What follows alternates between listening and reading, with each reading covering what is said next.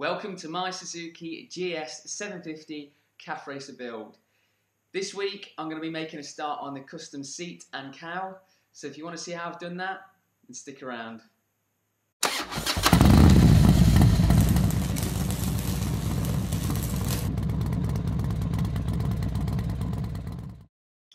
Right, where do I begin?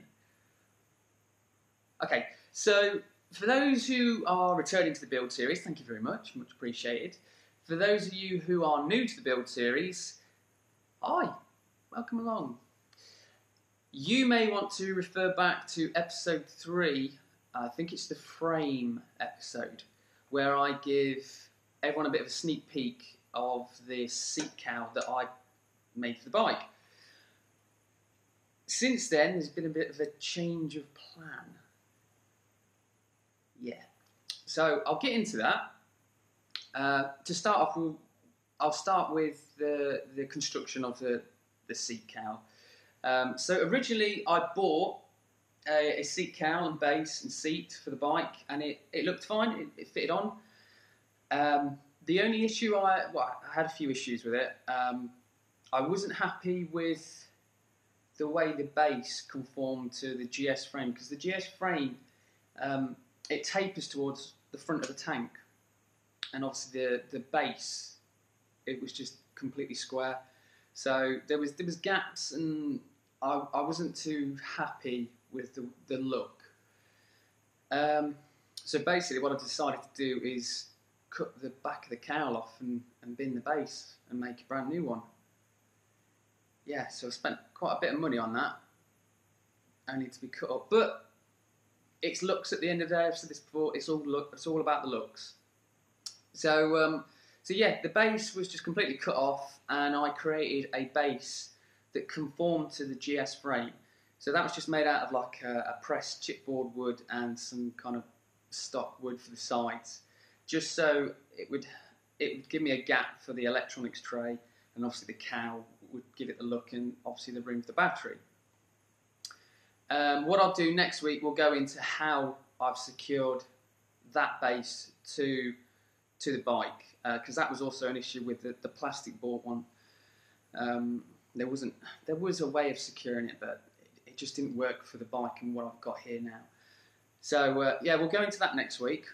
Um, so yeah, I, I, carried on and I I put the the foam over it and I cleaned it up and it was complete. Uh, I had everything filmed, ready to chuck out the episode, but it was horrible to sit on. um, it's it was something I, I completely missed out. I, I, have never made a seat before, so I, I don't know. Um, so yeah, the, the edges of the, the base were obviously quite sharp, um, and the, the high density foam that I covered the, the seat, it just it wasn't um, tough enough. Um, it just wouldn't take my weight, should we say? So it compressed up, and then obviously the edges just, you know, they came through the sponge, and it was just it was just really sharp, and it was just uncomfortable. Um, I wasn't too happy with the look, um, so I just decided to start over. Um, I guess it's a bit of a it's a learning curve. So the good thing is, you guys get to see how I've improved. So fingers crossed, this works out for the better. Uh, so yeah, I've gone a, a, different way about it this time. Um, instead of using a, a complete high um, high density foam for the for the seat, I've gone for like uh, an EVO EVA foam for the base, um, and I've rounded off the corners of the the base seat, so it's going to be a lot more comfortable now. Um, and obviously the EVA foam, EVA foam, Jesus Christ, EVA foam is going to be a lot tougher and denser. So it's yeah, it's going to be a bit more robust and not kind of compressed and nothing. Um, so yeah, let's let's crack on. I'll and I'll show you how it's done.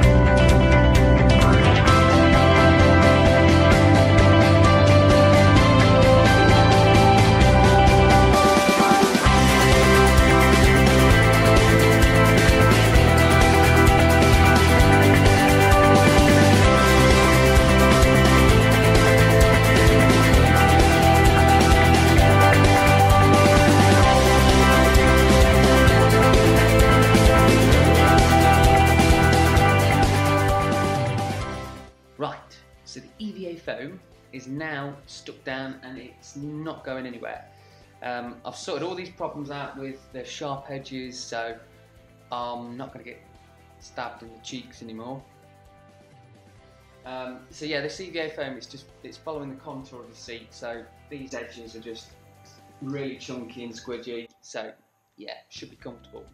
Um, you can also see I've got my cardboard template here. So what I need to do now, because I need a bit of bulk up front and at the back of the seat, I need to build this up. So what I'm going to do is just add some more EVA foam kind of layers, build it up, and at the back too.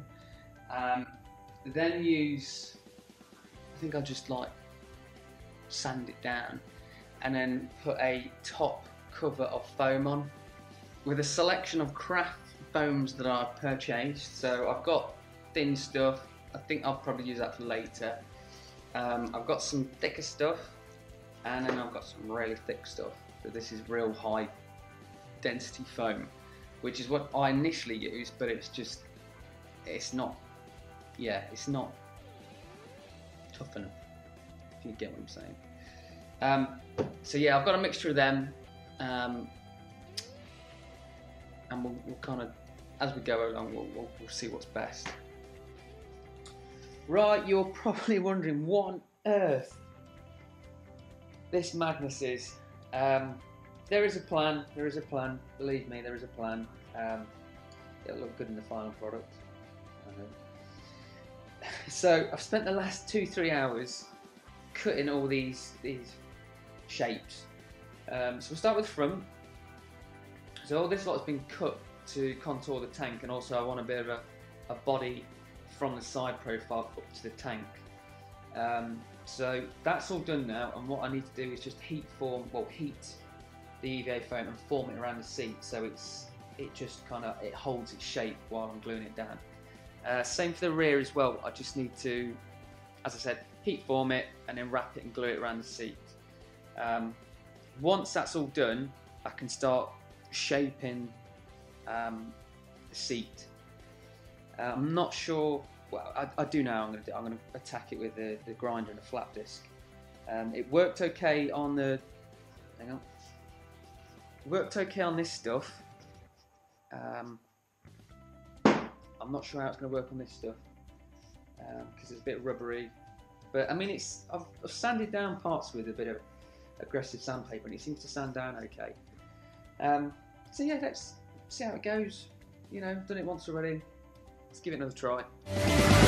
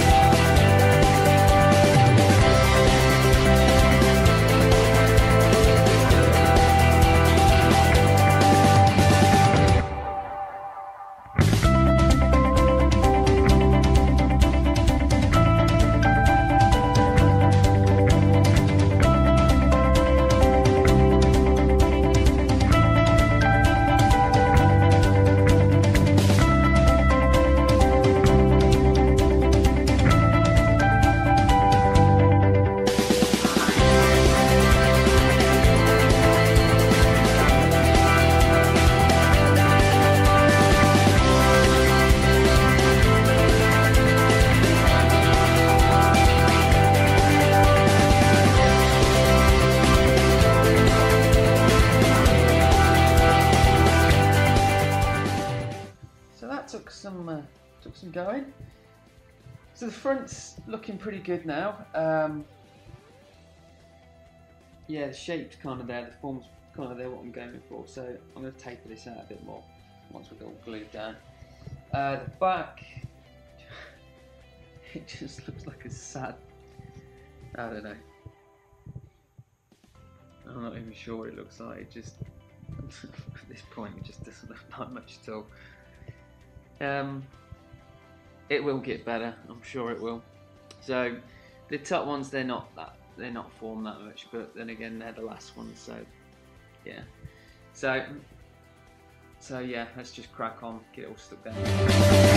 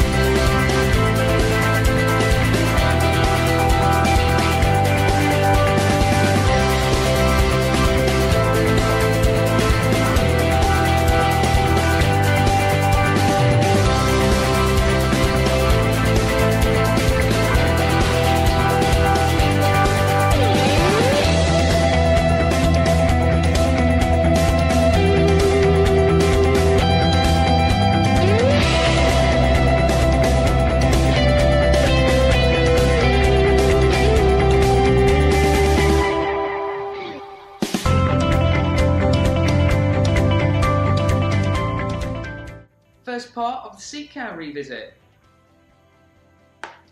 It looks a bit of a mess, I know, but the form is there.